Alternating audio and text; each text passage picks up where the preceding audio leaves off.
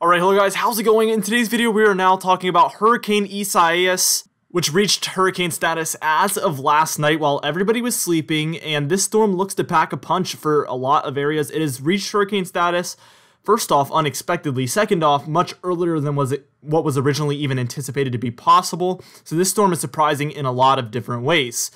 Now, before I get started with this video, though, I would ask that you do subscribe if you do like weather-related content, and also make sure to share this video with your friends, family, and social media. Now, for today's comment of the day, I want to know, do you think that this hurricane will become a Category 2, or what, what category do you think this one will reach at its maximum peak? Let me know in the comments down below and I'll be picking one of those for tomorrow's video. Now I have a very, very exciting announcement to make for you guys. If you become a patron, silver patron or above, you will gain access as of right now to our second winter forecast before anybody else in the world gets to see it. So I highly recommend you do that if you are curious about what our second winter forecast will look like. I have just released that to our Patreon page. Again, silver patron and above. An official patron will not gain access to that as they usually only get model guidance, things like that. But if you join today, you can get access to our second winter forecast again silver patron or above so i highly recommend you check that out in the pinned comment down below and the description all right, now let's briefly take a look at our satellite imagery for our storm here.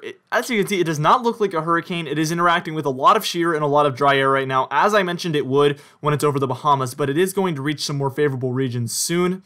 Now, what we're going to do is we're going to move on. We're going to take a look at our low pressure center, NOAA's official, official forecast for this one. We're going to look at some spaghetti models, intensity guidance, rainfall forecast, uh, and other tropical things like that.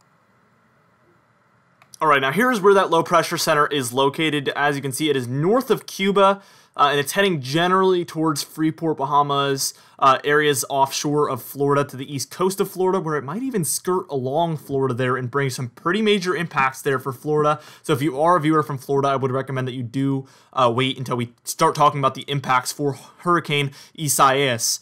All right, now Carolinas, Virginia, Delmarva, New Jersey, and New England could all feel very major impacts as well from this one. I'll talk about all of that throughout this video, obviously. Now, here is the National Hurricane Center's cone forecast for Hurricane Isaias, and as you can see, uh, this one is heading generally in a northwesterly direction. It's going to come very close to Florida, might even come onshore of Florida, but if not just offshore, most likely. And it's going to kind of curve northward, almost directly northward, and then northeastward eventually, uh, where I think it's probably going to hit the Outer Banks. That seems like the very middle of our cone forecast here, and that seems like the most likely outcome for Hurricane Isaias. All right, now what we're going to do is we're going to move on and we're going to take a look at the spaghetti model guidance. We're going to take a look at our general spaghetti model guidance, our GEFS model ensemble guidance, and our Canadian model ensemble guidance.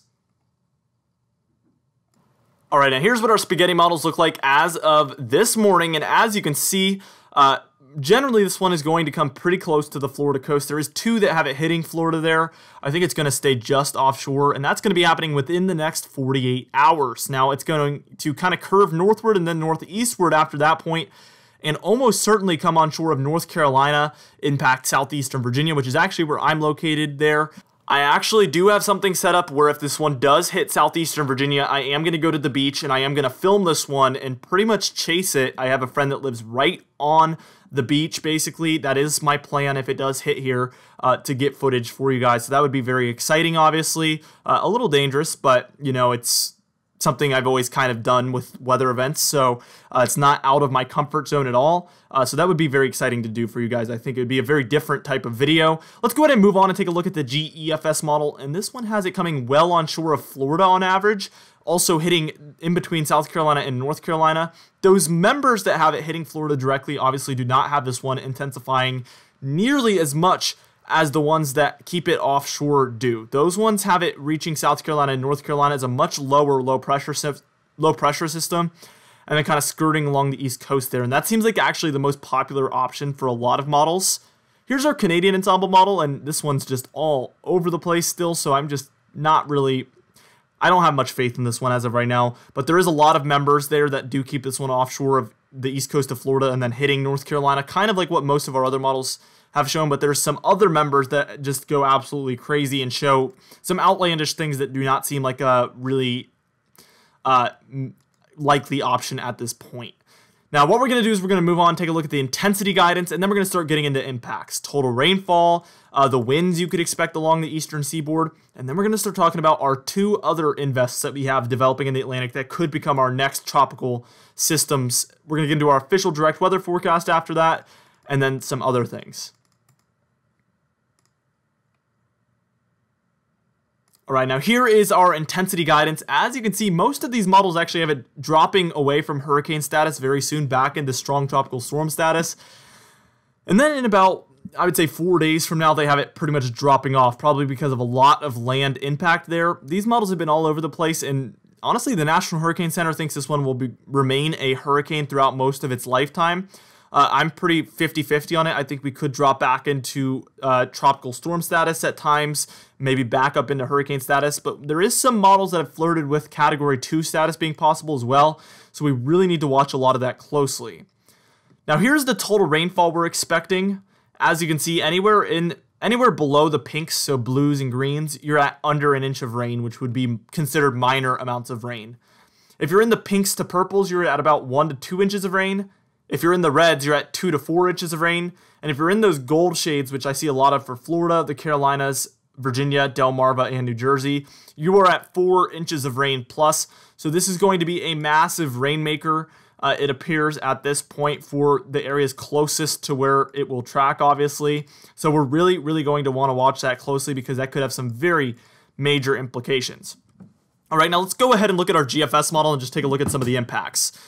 As you can see, by time we're at about Sunday morning at about 2 a.m. here, we are taking a look at some of those yellows and oranges moving onshore to the east coast of Florida. And what that's going to be is anywhere from about 28 to 40 knot winds. If any of those purples make it onshore, that's 50 knot winds plus. So we're probably going to get at least tropical storm status conditions along the Florida coast. If it's further away, maybe not. If it's closer, you can expect even worse impacts. But it's also possible we see hurricane impacts, uh, hurricane status winds to Florida. And then we see it move generally northward towards the borders of the two Carolinas there, where we see those 30 to 50 knot winds move onshore of those regions. Then it moves in a northeasterly direction from that point, and it's located over the Chesapeake Bay by the time we're at about 2 a.m. on Tuesday which would bring tropical storm status winds pretty much for all of eastern Virginia, the Delmarva, eastern North Carolina, areas like that, potentially hurricane status. This model seems like the outlier to have it that far inland, so if it's offshore, we could expect more major impacts along the eastern seaboard. Let's just go ahead and take it to about 8 a.m. on Tuesday, and as you can see, it's going to be along the Jersey shore there, bringing tropical storm or hurricane status winds. And then by the time we reach Tuesday afternoon, it's going to bring tropical storm or hurricane status conditions to New England. I think the GFS right now has an absolute worst case scenario because it skirts along the entire eastern seaboard and it stays over water, so it's not dropping off in intensity. It's just bringing these bad conditions on shore the whole way up, and that'd be an absolute worst case scenario. What we're gonna do is we're gonna move on and we're gonna take a look at the five day graphical tropical weather outlook the two day drop graphical tropical weather outlook, and then our official direct weather forecast for Hurricane Isaias. And then we're going to get into our comment of the day. All right, now here we are taking a look at our five day graphical tropical weather outlook here from NOAA.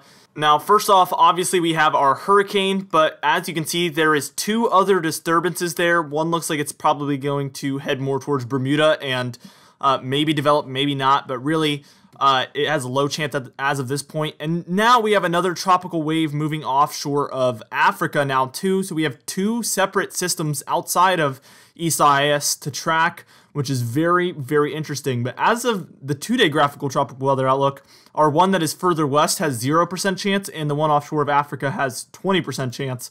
So chances remain quite low for these storms to develop. All right, now here's our hurricane Isaias official next five day forecast. And as you can see, I'm expecting it to move generally in a northeasterly direction there. I made this first thing this morning, so it's a little outdated, but it is going to head in a generally northwesterly direction, possibly skirt the east coast of Florida. I do have an, a direct Florida impact if the low pressure system coming onshore possible at this point, but it's more likely it'll be offshore. And then likely it's going to curve up north and then northeasterly, uh, where it's going to probably make impacts with North Carolina somewhere, most likely the Outer Banks, and then stay offshore of the East Coast from that point, maybe skirting just along the coast as it heads towards Long Island and New England. I think that's the most likely outcome at this point.